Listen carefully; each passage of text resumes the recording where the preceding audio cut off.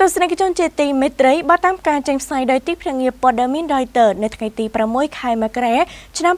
2022បានបញ្ជាក់ឲ្យដឹងថាប្រេងឆៅបានឡើងថ្លៃដល់80ដុល្លារនៅក្នុង1បារ៉ែលដែលជាតម្លៃខ្ពស់បំផុតមួយកាត់ចាប់ពីខែវិច្ឆិកាមកខណៈក្រុមប្រទេសអូពេចបូករក្សាផែនការដំឡើងទិន្នផលប្រេងនៅដដែល។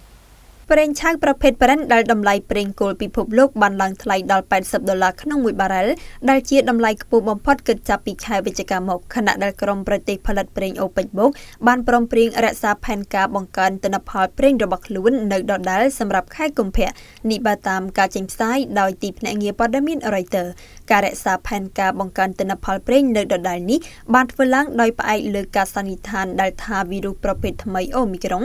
នឹងមានផលប៉ះពាល់តិចតួចប៉ុណ្ណោះទៅលើតម្រូវការប្រេងយោងតាមទីភ្នាក់ងារព័ត៌មាន Reuters ប្រេងឆៅប្រភេទ Brent ត្រូវបានជួញដូរក្នុងតម្លៃ80ដុល្លារក្នុងមួយបារ៉ែលដោយឡើងថ្លៃ1.02ដុល្លារឬ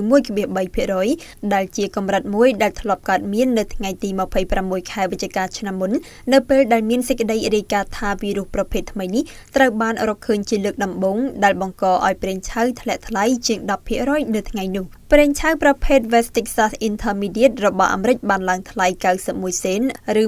1.2% ដល់